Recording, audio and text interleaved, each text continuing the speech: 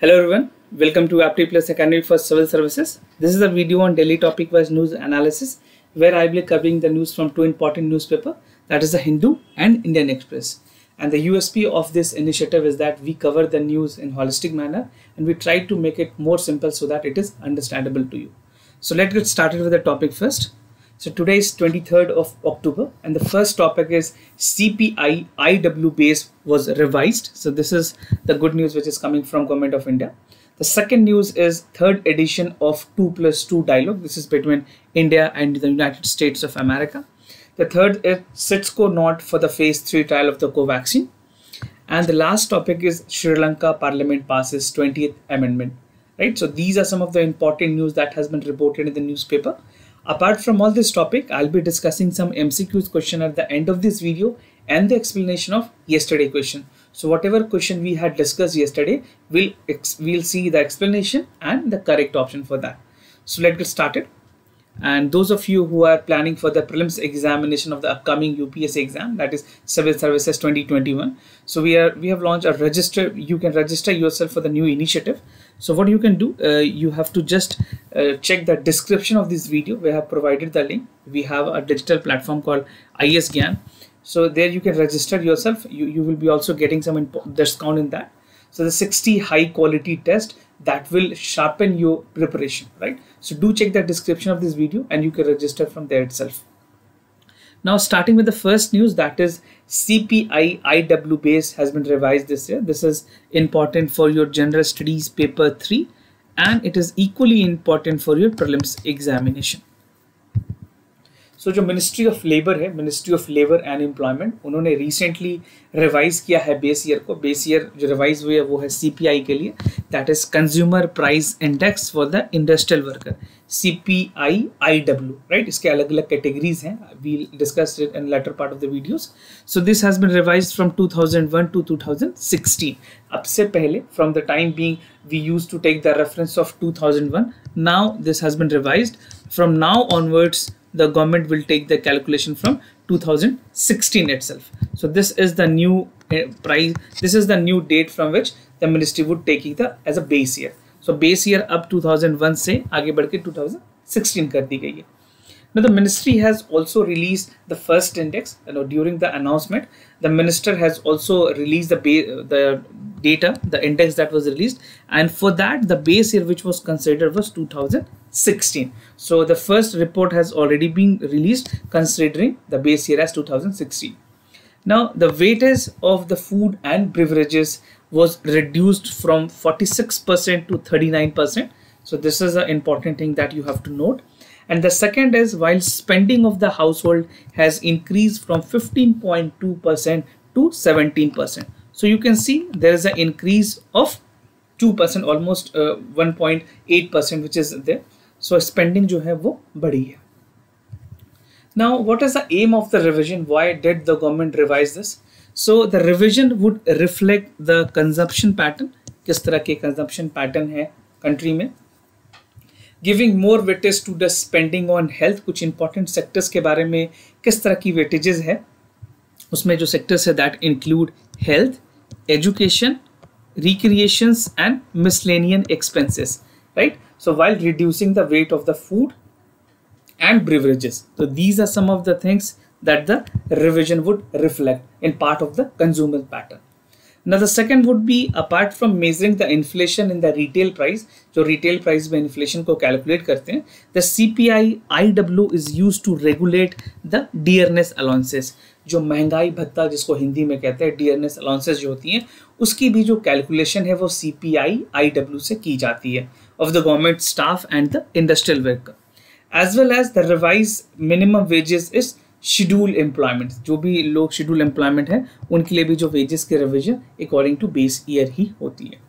Now the new series of the C P I agriculture worker which is currently has a base year of 1986 to 87 so यहाँ पे base year अभी भी change नहीं की गई थी। अब सारे जगहों के लिए चेंज कर दिया है it would gradually it will change for this also but at time being ये सिर्फ़ अभी इंडस्ट्रियल वर्कर के लिए बेस ईयर कंसिडर की गई है।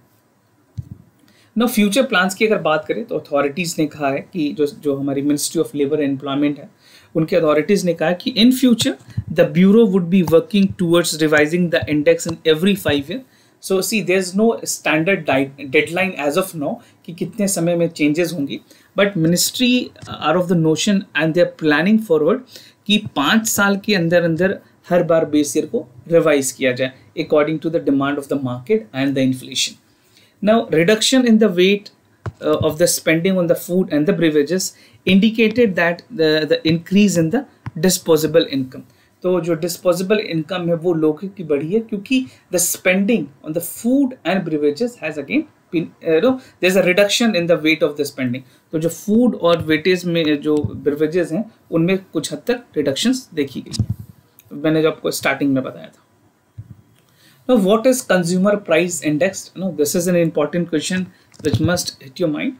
So, CPI की अगर बात करें तो it measures the changes from the perspective of retail buyer जो खुदरे व्यापारी होते हैं जो uh, basically the people who have the retail selling so they are calculated here and this it also measures over the time the level of the retail people selected like goods services other consumer जो, जिनकी जो spending है income से these are taken into the consideration ना कुछ चार important C P I हैं। The first is C P I for the industrial worker जिसके लिए अभी base year two thousand sixteen की गई है फ्रॉम टू थाउज़ेंड वन ना C P I for the agriculture labour this is A L C P I for the rural labour this is R L and C P I for rural urban and combined right so these are the important for C P I in the economy Now of these, the first three are compiled by the Labor Bureau. जो पहले तीन हैं, I'm talking about these three. These three are compiled by the Labor Bureau in the Ministry of Labor and Employment. Now the last one, this is CPI and the uh, Rural, Urban and Combined. This is compiled by the CSO, that is Central Statistical Office. This is or organization you can say. This is by the M MOSPI, Ministry of Statistical and Program Implementation. So this is again very important. Many a times UPSC or any other competitive examination may ask you this question. So you have to be thorough with the concepts. Now moving to the other topic. Uh, basically, uh, uh I must tell you that these are the major groups among which the things are divided. So अगर बात करें CPI की, uh, that eight major groups हैं CPI में. So the first is apparel, second is transportation, third is education and communications, fourth is other goods and services. Fifth is recreations. And the sixth is medical care or medical services. Seventh is food and beverages. And the last is housing. So these are the eight major group of the cpi so this is again very important. This might be asked in the objective questions. Now coming to the second topic that is third edition of the 2 plus 2 dialogue this is important for your general studies paper 2 and equally important for your prelims examination. Now India and US will discuss the uh, salient regional issues in the upcoming third edition of the 2 plus 2 ministerial dialogue. So we already had two meeting in the 2 plus 2 dialogue. So this is the third meeting which is going to be held. Now the government said that it is an indication that the ties with China will be the agenda on 27th of October. So whatever has happened, the de-escalation of the, you know, basically whatever the relationship with China had, you know, USA does not have the good relationship with China. India, in line of the LOC, we, we do not have the good relationship with China. So accordingly, the things would be discussed how the dominance of China can be curtailed. So this is the 2 plus 2 meeting is scheduled for 27th of October 2020. Now, what are the agenda in this meeting? So 2 plus 2 ministerial dialogue will entail the comprehensive discussion. So this would include the cross-cutting bilateral issues of the mutual interest. जो दोनों countries के बीच में ऐसी points या ऐसे agenda जो दोनों countries के लिए common है उन पे discussion होगी. And both India and USA will exchange the views on the salient and the global regional issues, right? And the discussion on how to free the nations can work together in the thought threat of the Chinese Communist Party. जिस तरह से जो China की जो सबसे बड़ी party है Chinese communist party उसकी जो डोमिनेंस बढ़ रही है एशिया पैसिफिक रीजन में, उससे कैसे बाहर निकला जाए, उसको कैसे कंट्रोल किया जाए now the India and U S have a comprehensive global strategic partnership which include political security defence economic commercial technology and people to people contact. Right? So this would be some of the global strategy. अगर आप mains examination में लिखते हैं you have to write all this point which include political, security, defense, economy, commercial, technology, and people to people contact. Right? Now coming to the concerns about the Chinese rise, because the rise of the China in the South China Sea and the other parts is again a great concern for India and the other country like United States. So the high level talk taking place in the midst of uh, like festering the border China in the eastern Ladakh region and the renewed global focus on the Chinese military presence in the region or in the Indo-Pacific region is a great concern for the country like India. And both the issues are expected to figure in the talk in the 2 plus 2 talk. So this would be the third edition of the 2 plus 2 talk. Now coming to the other topic that is CDSCO. We, we call it in form like CIDCO. CIDCO not for the phase 3 trial for the Covaxin. So this is important for general studies paper 3 and more or less it is also important for the prelims examination.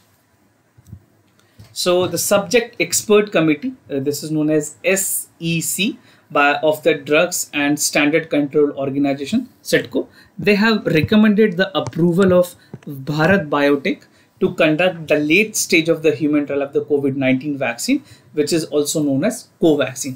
तो Bharat biotech ने जो vaccine बनाई है Covaxin उसके दो stage पूरे हो गए हैं। The second stage has completed now it is entering into the third stage with the permission of SETCO now the central drug control the central drug standard control organisation जो है it is the apex drug regulator in the country right? Like sebi is a drug uh, is like the market regulator for for drug regulator we have sitco जो SEC है subject expert committee they have recommended कि once a suspect case is confirmed the principal investigator of the trial site will be evaluated and clinical information to classify the symptomatic case.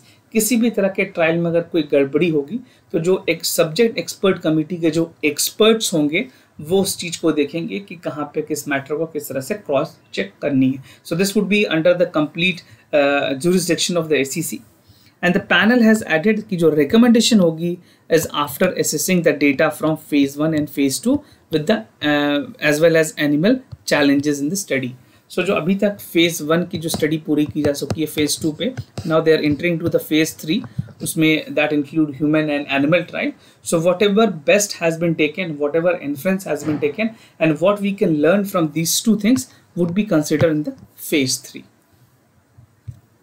now criteria for the participants की अगर बात करें so the committee has also set various criteria कि उसमें कौन से participants होंगे जो confirmed symptomatic and the confirm positive R T P C R test के थ्रू सम पार्टिसिपेंट्स को भी रहा जाएगा because no before they make entry into the participation voluntarily there has to be all the confirmation and recheck right and these include one or more symptoms such as shortness of breath onset of anosmia or ageusia oxygen saturation level जो कि ninety four percent से कम होगी pneumonia is diagnosed by chest X-ray or CT scan fever chills or new cough तो जो भी लोग volunteer बनेंगे, उनमें इस तरह के सिम्टम्स होने चाहिए ताकि ये पता चल पाए कि जो फ़ेज़ थ्री के जो ट्रायल हैं, जो वैक्सीन हैं how effective it is to check the efficacy of the vaccine in the phase three trial these are the symptoms that would be required by the participants और the volunteer right now coming to the other topic that is sri lanka parliament passes 20th amendment act. So this is uh, for gs paper 2 in terms of the ir relation it is important. For prelims it is not that important but anytime upsc can ask question in prelim and mains. Now, Sri Lanka Parliament has recently passed the 20th amendment for the constitution with two-third of the majority. So the majority they got was two-third and this is the 20th amendment in the constitution of Sri Lanka. Now the amendment will concentrate power with the president and allow the dual citizenship of the political office. क्योंकि अभी के जो president हैं, उन एक basically till present जो nineteen amendment pass हुई थी, उसमें डुअल सिटीजनशिप के लोगों को प्रेसिडेंट ऑफ़िस में रहने की बात नहीं कही गई है। And in the nineteen amendment there was lot of provisions which curtail the power of the president but in twenty amendment the power of the president has increase drastically right now और क्या है twenty amendment में? So the twenty amendment roll back the Sri Lanka nineteenth amendment जो nineteen amendment पिछली सरकार जो थी, श्री सेना की जो सरकार थी, उन्होंने जो चेंजेस किए थे now that has again been vanished they have completely been revoked और जो नए पावर दिए गए हैं प्रेसिडेंट को, जो कि पार्लियामेंट और प्रेसिडेंट को स्ट्रेंथन करेगी right so it give more power और immunity to president in general तो इस जो ट्वेंटी अमेंडमेंट है उससे सबसे ज़्यादा पावर प्रेसिडेंट को मिलेगी। And the new legislation in turn reduced the prime minister role in the ceremonial one prime minister की जो डोमिनेंस है या जो उनकी जो इम्पोर्टेंस है वो कुछ हद तक जो प्रेसिडेंट है उसके कंपैरिजन में कम होगी now the amendment was passed with several challenges बहुत सारे चेंजेस के साथ वो पास की गई है। बिकॉज़ द सुप्रीम कोर्ट वहाँ की जो सुप्रीम कोर्ट है, श्रीलंका की सुप्रीम कोर्ट उन्होंने ये पहले बताया था कि the clauses in the original proposal were against the sovereignty and they needed to approval of the public referendum before they become the law so in their rules also, in their law also, supreme court has intervened and they asked the government कि जो भी ऐसी चीज़ें हैं जिससे public को दिक्कत है या जो पब्लिक जो पीपल सोवर्निटी के खिलाफ है, उन सारी चीज़ों को आपको एक्सक्लूड करना होगा ट्वेंटी अमेंडमेंट में right so this is all about the twenty amendment that what passed in the Sri Lanka now coming to the answers basically जो कल के क्वेश्चन थे, उसके आंसर्स और एक्सप्लेनेशन मैं आपको बताऊँगा। So the first question for the first question the correct answer here is C that is the statement both one and two is correct, right? And I've uh, taken the reference from the Hindu. Uh, you can you can Google that topic and you can read more about that. Now coming to the second question, here the correct option is B. That the statement one is incorrect. The 42 Constitutional Amendment Act of 1976 added the three word that is socialist, secular, and integrity. And the statement two is correct that the preamble of India constitution is based on the objective resolution drafted by Pandit Nehru. So this you can also read in the Indian polity book by M. Laxmikanth. A dedicated chapter has been provided where you can uh, study in more elaborate. So this is all about the discussion of the present question. Now let's move ahead to the MCQs question of the day. So the first question is from the economy. Consider the following statement with reference to public credit registry recently seen in the news. So it aims to improve the credit and strengthen the credit culture among the consumer. And second, it will improve the single point and real time of financial liabilities of the person and entities. So this question can be asked both in the economics and current affair portion. So you have to choose the correct option that is A, B, C or D. Whatever you feel is the correct answer, you can use the logic and you can derive the correct option and write their answer in the comment section down below. Now coming to the second question that is from the Indian culture. Consider the following statement about the Mahabalipuram temple. The temple is dotted with several rock cut and freestanding structures and it is one of the largest and oldest temple known in the world right so again you have to consider the statement and you have to write the correct options among a b c or d if you have any additional information which you want to share with us regarding the mahabalipuram that also you can share with us in the comment section down below so do participate write your answer in the comment sections and if you if you are new to our channel and you have not subscribed to our Apti plus academy do check uh, do hit the subscribe button and subscribe the Plus Academy for Civil Services where you'll be getting some of the important compilations and videos that will help for the examination. And if you like this video, do not forget to give a thumbs up. And if you have any other concern, do let us know. We'll be more than happy to assist you. For time being, I'm signing off. Wish you all the best. Stay home, stay safe. Thank you so much.